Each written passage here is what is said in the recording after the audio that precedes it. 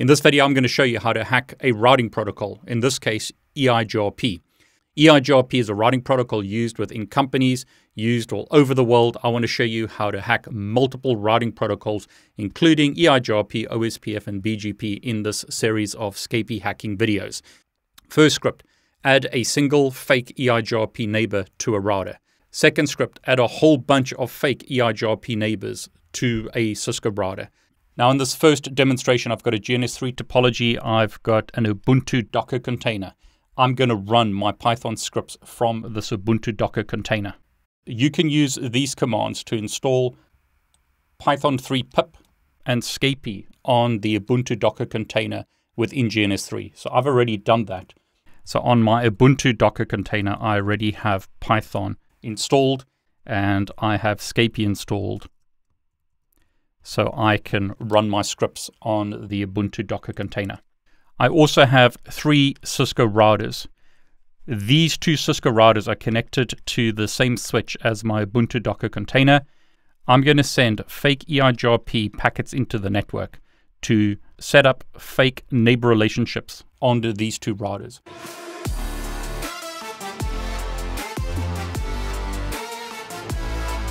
In this example, I'm going to add a fake EIGRP neighbor by sending one packet into the network. First thing I'll do is import Scapy. I'll load EIGRP and then sniff the network and find a packet going to the EIGRP well-known multicast address. So basically, Scapy is grabbing a packet off the wire that has this multicast IP address. This is the well-known IP address for EIGRP. I'm going to take that packet and manipulate it by setting the source MAC address to this, setting the source IP address to this.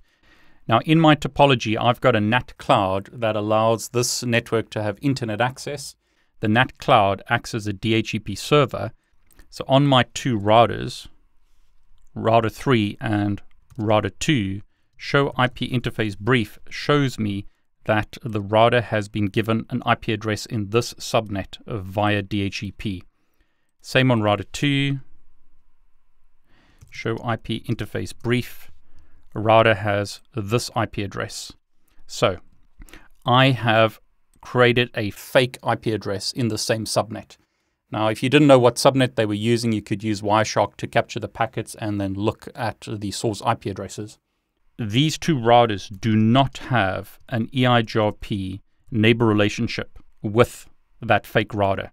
Router 2 has a neighbor relationship to router 1. That's router 1's IP address.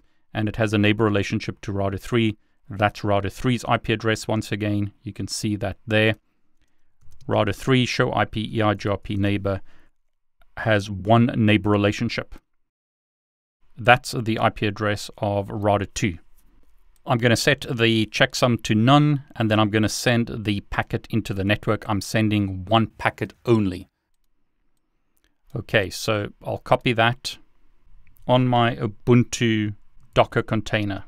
I'll create a file using nano, eigrp hack neighbor1.py, and I'll paste that script in.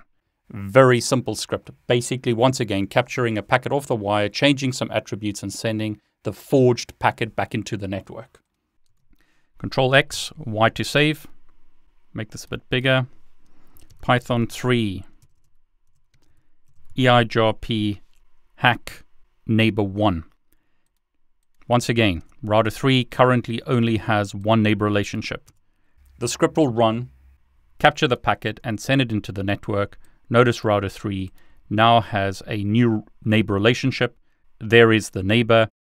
On router 2, we see new neighbor relationship message, and there is the neighbor relationship. I've now been able to forge a packet, send it into the network, and make a Cisco router believe that it has a new EIGRP neighbor. Now that expires after a while, but I could run the script again. So neighbor relationship is back on router 3 neighbor relationship is back on router 2. Okay, so that was a very simple script. Now let's expand it. And all I'm going to do to expand it is use a for loop. So we're still capturing a packet, but now with my for loop, I'm going to set the host address to 192.168.122 and the value of i as it loops round. So basically, we're going to send a whole bunch of packets into the network. So on Ubuntu, nano, EIGRP, hack, and let's call this neighbor2. I'll paste that script in, save the script. On router 3, show IPEIGRP neighbor. We've got one neighbor relationship. On router 2, we've got two neighbor relationships. Python 3, EIGRP hack neighbor 2.py. Let's see what happens when we send these packets into the network. Okay, you can see a whole bunch of packets have been sent. It's actually locking things up on my GNS3 topology. And this is why you might want to use physical equipment rather than virtual equipment, especially when you're sending a whole bunch of traffic. But you can see a whole bunch of neighbor relationships have been created. This is on router 3. Notice many, many neighbor relationships have been set up on router 3. Basically, we are doing a denial of service attack essentially by creating a whole bunch of neighbors on these two routers. GNS3 is struggling here, and that's once again why I often use physical equipment rather than virtual equipment when demonstrating hacking, because in virtual environments we often have problems like this. But my script is finished, and hopefully at some point GNS3 will kick back into life. And there you go.